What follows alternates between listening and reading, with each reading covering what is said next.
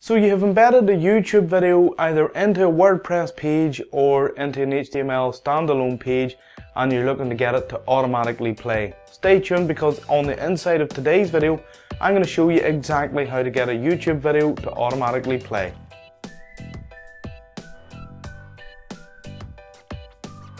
Hi, I'm Chris Cole and welcome to today's video in which we're going to look into getting YouTube videos to automatically play either on your HTML page or within WordPress.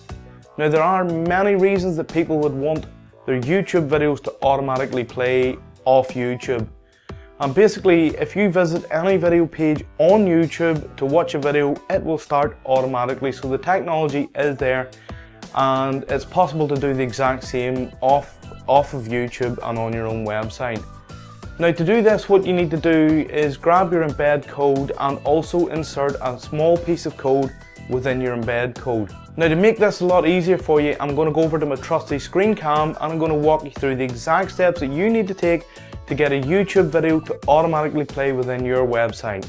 So we navigate to the page on YouTube where our video is located. What we're looking to do here is grab the embed code for the video. Once we get that, we're going to put it onto a notepad because we're going to tweak the code ever so slightly uh, to basically get this video to autoplay.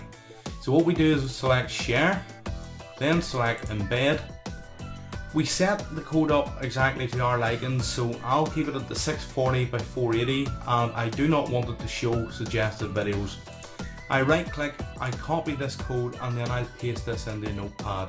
Now that we have this code, what we're looking for is the end of the video URL. Now this portion here is the video URL up until the, the end of the last letter. Then you see the question mark and the rel equals zero. What this basically means within the video URL is that you don't want to see related videos when the video ends. You can delete this and it won't make any difference to how the video plays but generally by selecting the feature where you do not want to show suggested features that adds that little portion of the code. So if yours looks different, well then that's where the difference is. So once you have located these two locations within the code, you'll know where basically you need to paste this in. As you can see, I already have the rel equals zero. So literally what I need to do is lift from the plus sign of the ampersand sign amp and then the autoplay equals one. If I copy that and literally come up into the video code and paste that code in. That's me now ready to go. Basically what I now do is copy this code, I come across to my WordPress website and paste that in. So what we'll do before we go off to WordPress is we'll explain exactly what we've just done. This portion here is the YouTube video URL. Then what you have, the question mark rel equals zero is telling YouTube not to show suggested videos when the video ends and the final portion from the plus amp autoplay equals 1 this is you telling YouTube or the video player to automatically play. Once you have all of this in place simply select all of your code and then go across either to your HTML website or into WordPress. Once you're on your page, what you need to do is go into your text editor and find the location where you're going to paste your video.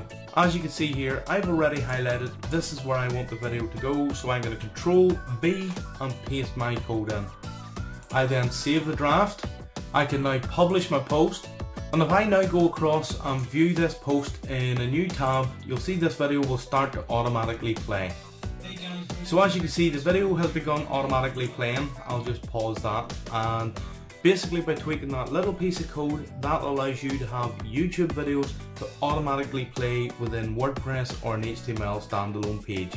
So as you can see, it's a relatively simple little piece of code that you need to add within your embed code. Simply copy and paste the little piece of code that I give you within the description into the area that I show you within your embed code. Obviously then paste it into your HTML or your WordPress website, publish it and then go and visit your web page. You'll find now that the video will now automatically play every time that the page loads and that's just how easy it is to get a YouTube video to automatically play off of YouTube. I hope you found today's tip helpful and as always, I would love to hear your comments and your feedback. Additionally, I would love it if you would subscribe to my YouTube channel because you'll get more great little video tips just like this one. So that's it for today. My name's Chris Cole from I'mChrisCole.com. I'll speak to you soon.